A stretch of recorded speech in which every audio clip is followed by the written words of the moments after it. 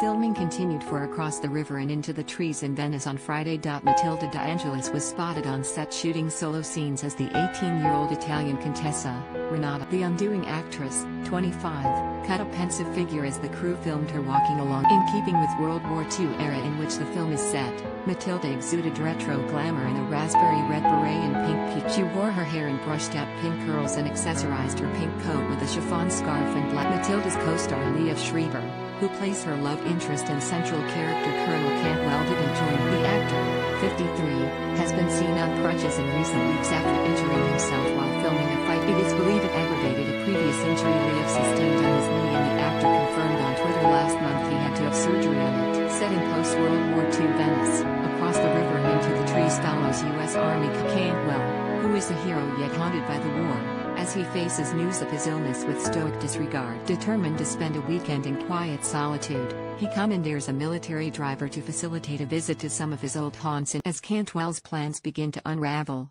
a chance encounter with a remarkable young woman begins to rekindle in him the hope of renewal. Based on the last full-length novel by Ernest Hemingway, the movie captures a fleeting moment of immortality where time stands still. Four years ago The Hollywood Reporter revealed that Pierce Brosnan would play the lead role with his GoldenEye director Martin Campbell at the helm. However the current director is Spanish filmmaker Paula Ortiz and this September it emerged in Deadline that Liev is